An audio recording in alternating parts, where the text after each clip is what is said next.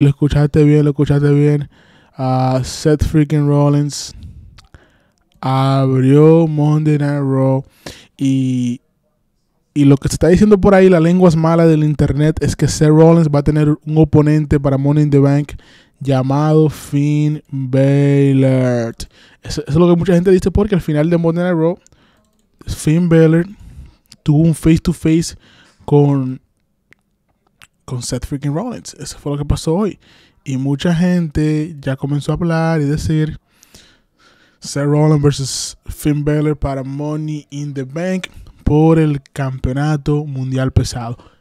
Eso es lo número uno que se ha hablado para lo que viene siendo Money in Bank. Pero hablemos del inicio de the Bank. Vamos a hablar de las tres cosas buenas que me gustaron y de las malas que no me gustaron. Uh, miren ahí el jefe tribal. Este viernes también anunciaron que el jefe tribal va a tener una reunión familiar donde Jay Uso va a tener que decidir con quién te vas. Palabras de Paul Heyman. Pero vamos a llegar ahí en un ratico. Vamos a llegar en un ratico. Vamos a empezar con el inicio. Salud para mi amiga la Liliana que está diciendo perdan su like, activa la campana, suscríbanse.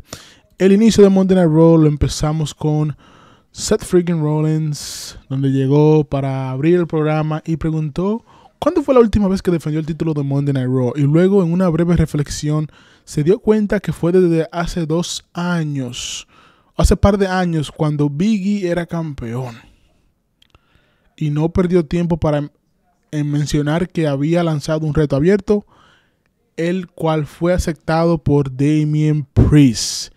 Yes, Damien Priest aceptó el reto abierto de nuestro querido Seth Freaking Rollins. Dice Liliana, ellos saludo desde Paraguay. Uh, ¿Por qué no Asuka y Ria tienen que cambiar de títulos? Que Ria tenga el de Raw y Asuka tenga el de SmackDown.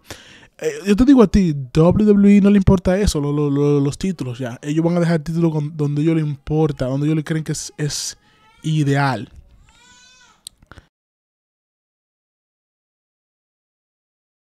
Saludos para toda gente de Ángel, bienvenidos todos al streaming. Y señores, por supuesto, Seth freaking Rollins fue interrumpido por nada más y nada menos que el día del juicio. Josh Day lo interrumpió a Seth Rollins hoy y Josh Day llegaron con una agenda, llegaron con una agenda donde básicamente Damien Priest y Finn Balor llegaron para interrumpir al campeón y Rollins le preguntó por Rhea Ripley Dominic Mysterio, pero Damien Priest le hizo saber que solo debe preocuparse por Damien Priest Rollins lucía incrédulo y Baylor tomó el micrófono para burlarse de él y de su cancioncita de wow, wow, burn it down. So, después de ahí, Priest lo hizo saber que él puede ser el merecedor del título, pero él resaltó que el resto está abierto y será su perdición esta noche porque Damian Priest lo va a vencer sin sus compañeros. Rollins tomó la palabra y le planteó a Priest que luche solo.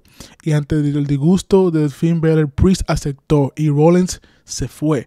Si antes sacarle en cara el reinado de, el reinado de Finn Balor como campeón universal que fue el más corto de la historia y aún perdiendo en el estelar. Eso sí es verdad. Seth Rollins dijo la pura, pura verdad. Así que, mi amigo Juan Camilo, um, ellos no confían en la, división femenina, Women's Division. Es verdad, WWE no te confía en esa división. Desafortunadamente no confía y esa es la verdad. No podemos mentirte, no podemos pintarte la cosa de otra manera. WWE no tiene confianza en la división femenina, no tienen confianza en, las mujeres ahora mismo. Es la pura verdad. No puedo, no puedo pintarte eso de ninguna otra manera. Ok, me seguimos aquí hablando de Monday Night Raw, señores. Y por supuesto, otro gran momento de Monday Night Raw. Vamos a hablar de lo bueno, de lo bueno de Monday Night Raw. Fue el segmento de Miss TV. So, Miss TV.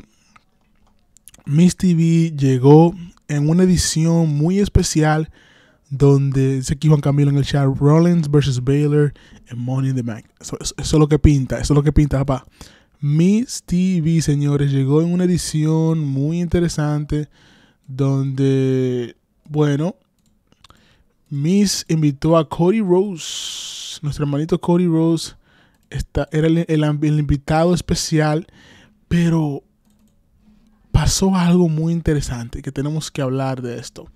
So, tu like, activa la campana, suscríbete, suscríbete, suscríbete.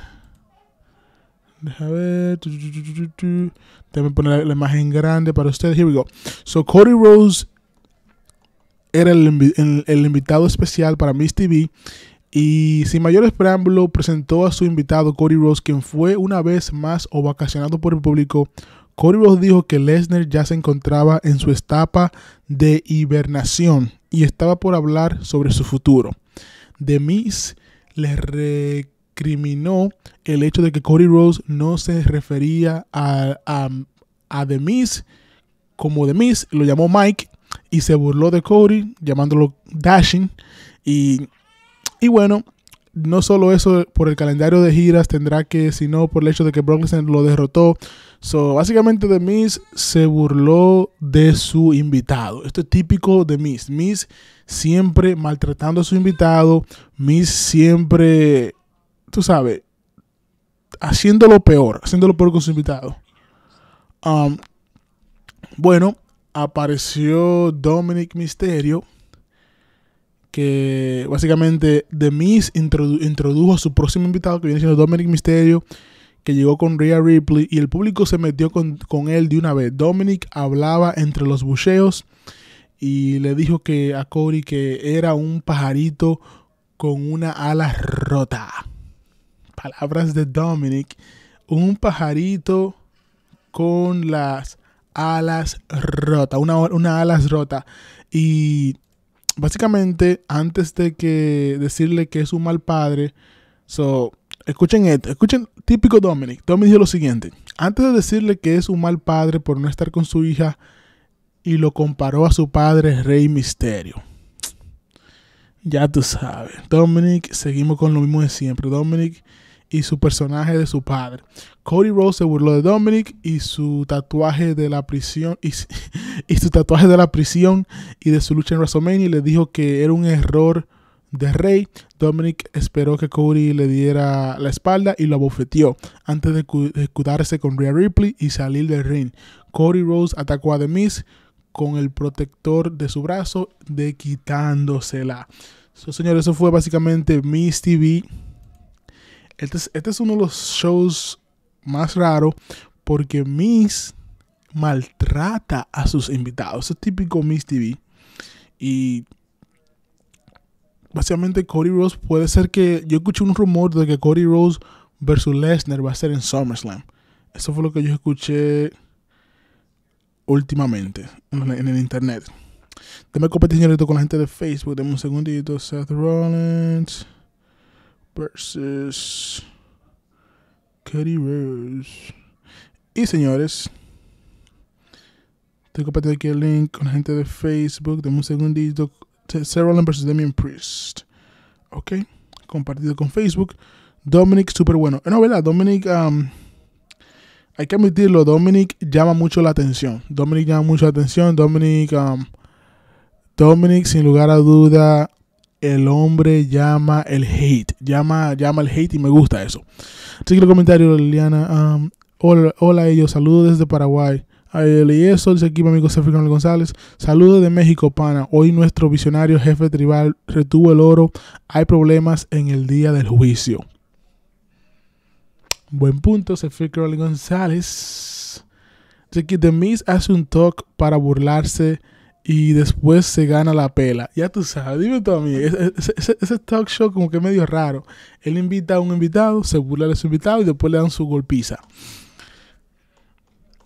Señores, seguimos hablando aquí del main event de la noche que viene siendo Cody Rose versus Damien Priest por el campeonato mundial pesado.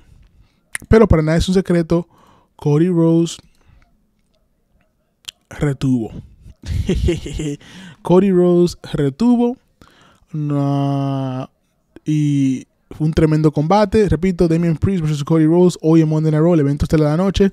Y al final del combate, hay que admitirlo, al final del combate no hubo mucho tiempo para celebrar porque Cody Rhodes fue cariado por Finn Balor, donde ya básicamente lo están preparando la próxima historia. Finn Balor